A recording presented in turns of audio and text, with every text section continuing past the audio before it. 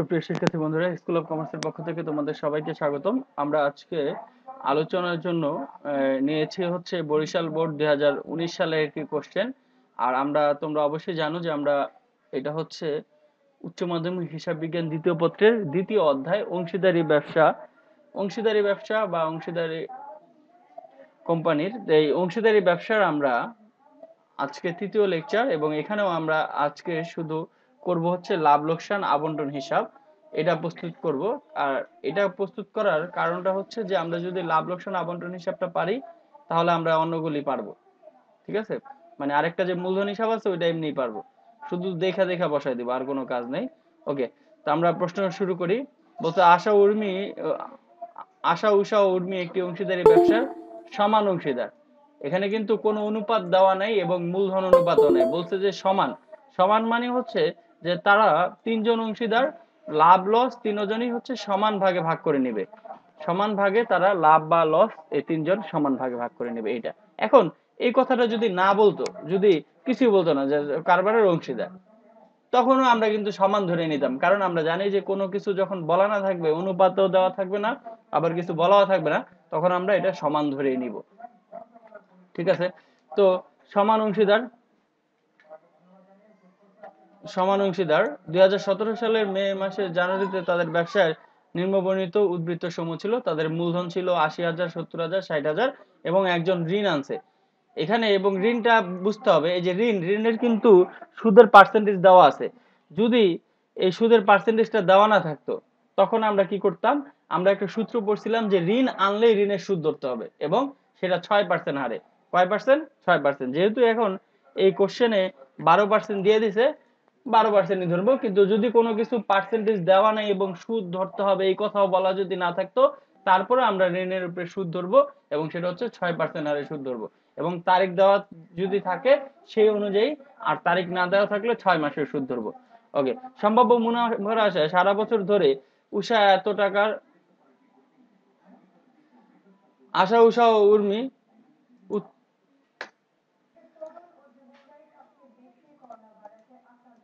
আশা উষা এবং উত্তোলন ছিল যথাক্রমে দশ হাজার, আট হাজার এবং ছয় হাজার টাকা।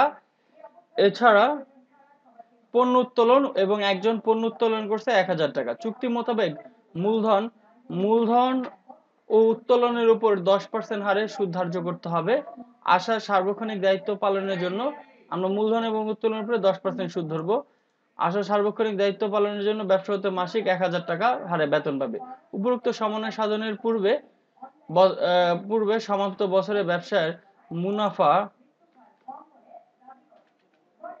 এটা মুনাফা, মুনাফার পরিমাণ দাঁড়ায় হচ্ছে আশি হাজার টাকা। এটা হচ্ছে বিগত বছরের মুনাফা। আমরা জানি যে কোশ্চেনে বিগত বছরের একটা মুনাফা দেওয়া থাকবে, ওইটা আমরা জানি আগে। এখন আমাদের আলোচনার বিষয়বস্তু হচ্ছে যে, এই পদ্ধতিটা, এটা কি পরিবর্তনশীল পদ্ধতি না অপরিবর্তনশীল পদ্ধতি? এটা আমরা আগে জানি যে, এটা আমরা কীভাবে চিনবো? আমরা বলছিলাম যে কোশ্চেনে কোথাও যদি একদম এই উপর থেকে নিচ পর্যন্ত কোথাও যদি চলতি হিসাব না থাকে, চলতি হিসাব নামে কিছু বলা না থাকে, তাহলে এটা পরিবর্তনশীল পদ্ধতি। আর যদি বলা থাকে, তাহলে এটা অপরিবর্তনশীল। আমরা এখানে দেখলাম যে কোনো চলতি হিসাব নামে কিছু বলা নেই। তাহলে এটা হচ্ছে পরিবর্তনশীল পদ্ধতি। ঠিক আছে? বলছে ঋণের সুদের পরিমাণ নির্ণয় করতে। ঋণের সুদের পরিমাণ নির্ণয় নির্ণয় করতে বলছে ঋণের সুদের পরিমাণ। এটা আমরা এই যখন লাভ লোকসান আবন্টন হিসাব করব, এটা এমনিতেই নির্ণয় হয়ে যাবে। তো আমাদের আলোচনার বিষয়বস্তু হচ্ছে লাভ লোকসান আবন্টন হিসাব। আর মূলধনটা আমরা এখন করব না। কারণ মূলধন নিয়ে আমরা কোনো আলোচনা করি নাই। আর মূলধনটা একেবারেই সহজ, এটা নিয়ে ভয় পাওয়ার কিছু নেই। মূল, এই অঙ্কের মূল বিষয়টা হচ্ছে লাভ, লোকসান আবন্টন হিসাব। তো আমরা কথা না বাড়ি সরাসরি অঙ্কে চলে যাই। এখানে আমরা জানি যে প্রশ্নে একটা বিগত বছরের নিট লাভ দেওয়া থাকবে, এটা আমরা সরাসরি লিখে দিব। এই যে বিগত বছরের নিট লাভ দেওয়া আছে আশি হাজার টাকা, এটা আমরা সরাসরি লিখলাম। ওকে আশি হাজার লিখে দিলাম। শেষ। এবার আমরা কি বলছি? দেখি আমরা। এরপর আমরা প্রশ্নটা পড়ব যে এখানে তাদের মূলধন ছিল এবং মূলধনের উপরে সুদ ধরতে হবে বলছে। তাহলে মূলধনের সুদ সূত্র অনুযায়ী ডেবিট পাশে যায়। আমরা এই যে সূত্রে পড়ছিলাম যে মূলধনের সুদ কোথায় যায়? ডেবিট পাশে।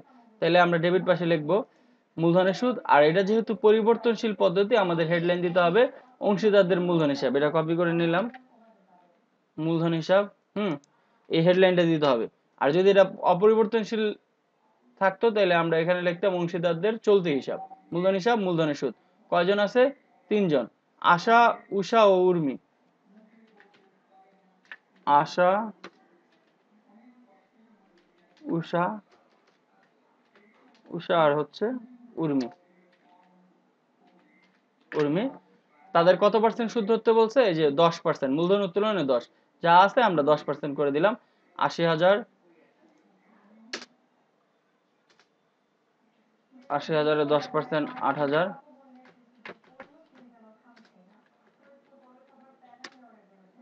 আশি হাজার, তারপর হচ্ছে সত্তর হাজারে, সাত হাজার হাজার, এরপর হচ্ছে ষাট হাজারে, ছয় হাজার। তিনটা লিখলাম, লেখা আমরা এখন যোগ করে দেব। তিনটা লিখলাম।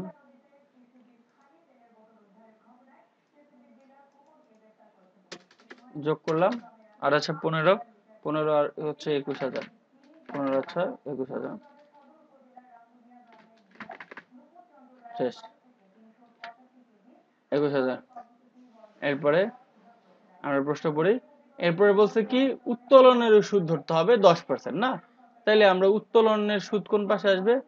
উত্তোলনের মূলধন তো লিখলাম, আমরা ঋণের সুদটাও লিখে দিতে পারি এ পাশে। তাহলে ঋণের সুদ কয়জন পাবে? ঋণ কিন্তু একজন আনছে, একজন হ্যাঁ? একজন, তখন আমরা অংশীদারদের মূলধন হিসাব না লিখে যেই নামটা থাকবে, যে পাবে তার নামই লিখে দেব। কে পাবো?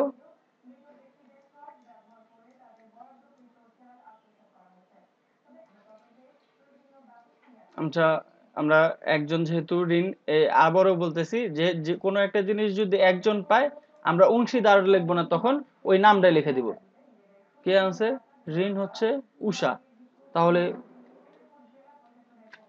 উষার উষার, মূলধন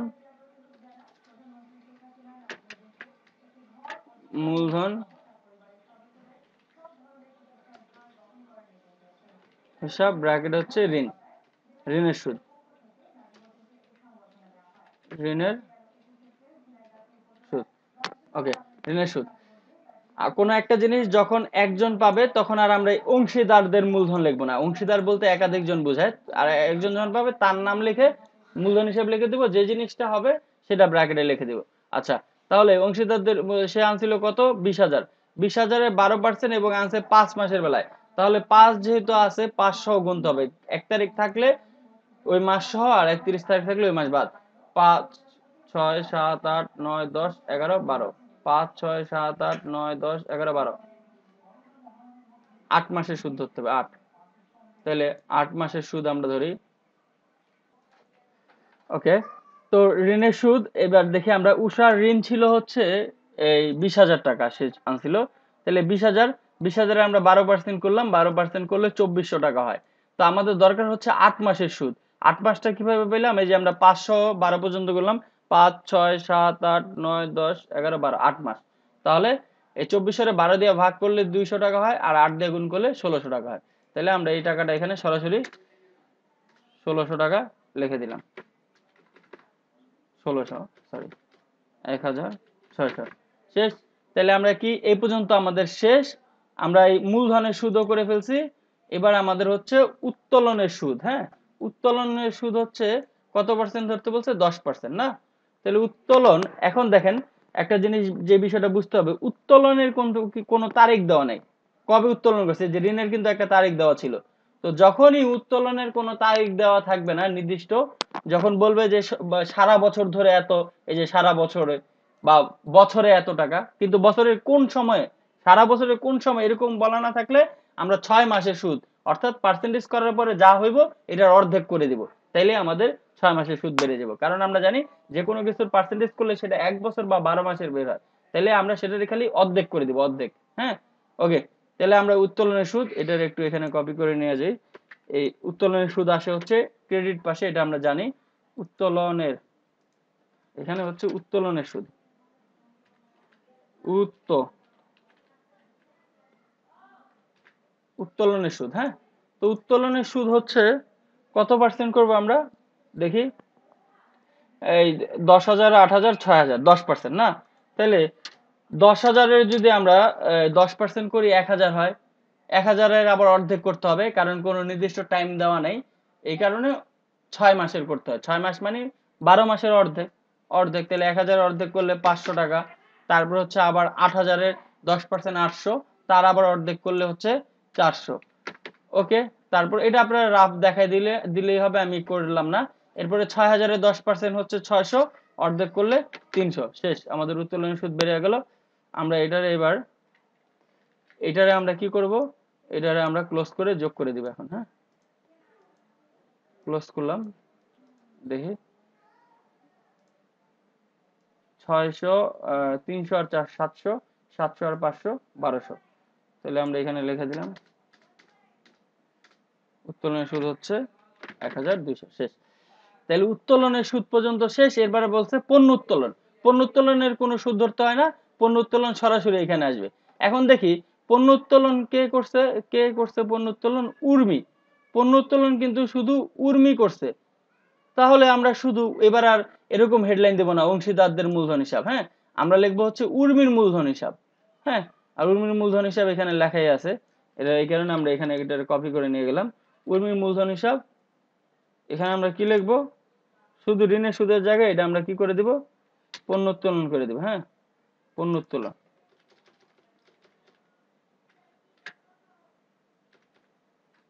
পণ্য উত্তোলন পণ্য উত্তোলন। আবারও বলতেছি, কোন একটা জিনিস যদি একজনের হয়, একজনের ভাগে যায়, সেটা সরাসরি আমরা তার নাম লিখে মূলধন হিসাব লিখব এবং ব্র্যাকেটে যে জিনিসটা ওটা লিখে দিব। পণ্য উত্তোলন কত করছে সে? এক হাজার টাকা। ওকে, এক হাজার টাকা। এক হাজার। পণ্য উত্তোলন এক হাজার লিখে দিলাম। এরপরে বলছে, এই পর্যন্ত কিন্তু আমাদের শেষ, এই উত্তোলন পর্যন্ত। আশা, সার্বক্ষণিক দায়িত্ব পালনের জন্য ব্যবসা থেকে সে এক এক হাজার টাকা বেতন পাবে। বেতনটা কোন পাশে আসে? বেতন ডেবিট পাশে আসে। এবং বেতনও কিন্তু একজন পাবে, আশা। কীভাবে? আশা। তাহলে আমরা এখানে কি লিখব? আশার মূলধন হিসাব। আশার মূলধন হিসাব। বেতন যেহেতু ডেবিট পাশে যায় আশার হ্যাঁ? আশার মূলধন হিসাব ব্র্যাকেটে লিখে দিব হচ্ছে বেতন বেতন। এবং সে বেতন কত পায়? মাসে এক হাজার। তাহলে মাসে এক হাজার অঙ্ক যদি আমরা বারো মাসের করি, তাহলে বারো মাসে হচ্ছে বারোশো। ওকে, বারোশো। লিখে দিলাম। বেতন পাবে উক্ত সমন্বয় পরে শেষ অঙ্ক। এবার আমরা লাভ ক্ষতি, লাভ হয়েছে না লস হয়েছে, এটা আমরা যোগ করে ক্যালকুলেশন করে দিব। আচ্ছা আমরা আগে একটু ক্লোজ করে নিই। ঘরটা একটু বড় করি। কারণ আমাদের লাভ লস লেখার জন্য একটা জায়গা দরকার আছে হ্যাঁ? তাহলে আমরা এখানে এসা এটা করলাম, এখানে এসে ক্লোজ করে দিই হ্যাঁ? আচ্ছা দুইটা, দুই জায়গায় হয়েছে। ওকে আচ্ছা যেটা বড় এটা আগে যোগ করব। আমরা অঙ্কটা দেখেই বুঝতে পারছি যে ক্রেডিট পাশটাই বড়। কারণ এখানে আছে আশি হাজার হ্যাঁ? তাহলে আশি আর একে একাশি আর একে বিরাশি বিরাশি হাজার দুইশো। বিরাশি হাজার বিরাশি হাজার দুইশো। এটার আমরা যে পাশে ছোট, ওই পাশেও এই সেম জিনিসটা লিখে দিব। কপি এটার আগে আমরা একটু ক্লোজ করে দিই, দুই দাগ দেওয়া দুই দাগ দিয়ে আমরা ক্লোজ করলাম। ক্লোজ কপি পেস্ট মানে যে পাশে যা আছে, ওইটাই লিখে দিলাম। এবার এই বিরাশি হাজার দুশো থেকে যেহেতু ক্রেডিট পাস বড় হয়েছে, আমরা বুঝে ফেলছি যে এখানে কি হয়েছে? মুনাফা হয়েছে। আর যদি ডেবিট পাস বড় হইতো, তাহলে ক্ষতি হইতো। মুনাফা হয়েছে তাহলে এই পাশে মুনাফার অংশ। এবং কত টাকা মুনাফা হয়েছে, এটা আমরা বের করার জন্য এই বিরাশি হাজার দুইশো থেকে এই উপরের টাকাটা আমরা বাদ দিয়ে দিব। বাদ দিলে যা হয় এটাই। আমরা একটু বাদ দিয়ে দেখি। ওকে আমরা এবার দেখলাম এই যে বিরাশি হাজার দুইশো থেকে এই এই টাকাটা বাদ দেওয়ার পরে যে টাকাটা বেড়েছে সেটা হচ্ছে এই আটান্ন হাজার চারশো আমাদের মুনাফা হয়েছে। তো আটান্ন হাজার চারশো এই আমরা তিনজনের মধ্যে ভাগ করে দিব। কারণ কোশ্চেনে বলা হয়েছে যে সমান অংশীদার সবাই। অর্থাৎ যে কয় টাকা লাভ হবে সবাই সমান পাবে। তাইলে লাভ হয়েছে হচ্ছে আটান্ন হাজার চারশো। তিনজন অংশীদার, তিন দিয়ে ভাগ করে দিলাম। তিন দিয়ে ভাগ করে দিলে উনিশ হাজার চারশো ছেষট্টি টাকা, ছেষট্টি পয়সা। দশমিকের পরে যদি পাঁচ বা পাঁচের উপরে থাকে, তাহলে আমরা দশমিকের আগের সংখ্যার সাথে এক যোগ করে দিব। তাহলে আমরা এখানে লিখব হচ্ছে,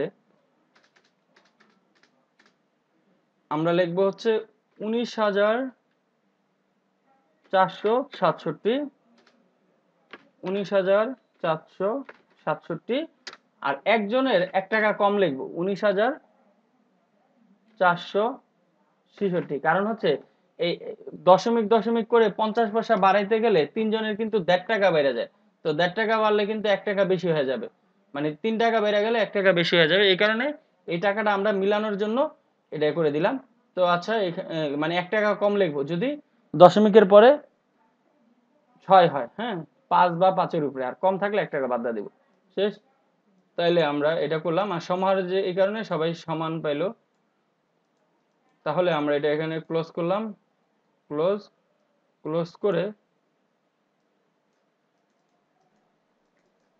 ক্লোজ করলে এই তিনটা এবার যোগ করলে, এই তিনটা যোগ করলে এইটাই হবে। চুয়ান্ন আটান্ন হাজার চারশো।